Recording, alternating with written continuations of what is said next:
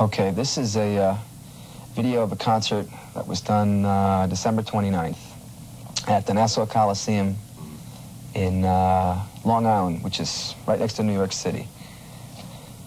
Yeah, which is uh, uh, where you were born and brought up, right? Well, I was born in the Bronx, Oh, which is another part of Oh, it's oh. another part of New York City. Uh-huh. And I spent some of my childhood in Brooklyn, which is another part of the city. hmm And then I went to uh, high school, and junior high school out in uh, Long Island, which is where the videotape was made. hmm How was the concert? I don't know. I was working. I was still uh, recovering. Yeah, this this wrist had been broken, and uh, it doesn't go all the way down. It goes about that far down. Mhm. But that's going to be okay. This thumb, though, I have to tape up to play the piano hmm because it doesn't stay rigid. Let's see if you can see this. It just kind of wobbles around. Uh-huh. Like this. So to keep it stiff, I have to wrap tape around it so I can hit the piano hard. All right. You, uh, you're perfect now, right? Well, I was never perfect before.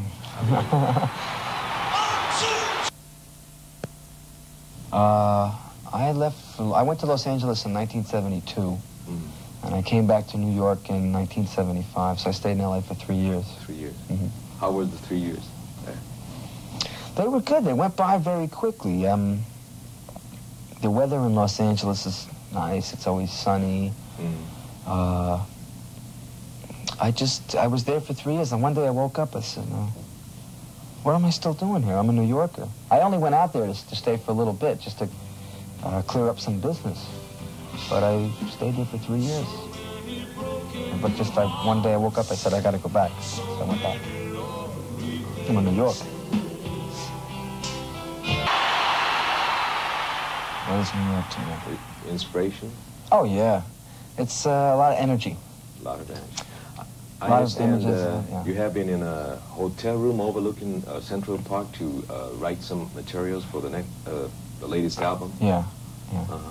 I, uh, I have to be in the city to work. That's where the recording studio is. Oh, And uh, so I got a room with a view overlooking the park. It's a big park. Because when you sit at the piano, you need to see. Uh, for me, I do. I need to see to write. I just have to be able to, you know, throw my thoughts out and just have them go out. Uh, and then a lot of things come back in. Um, I, I find if I don't have a good view, my mind just only goes so far and then it stops.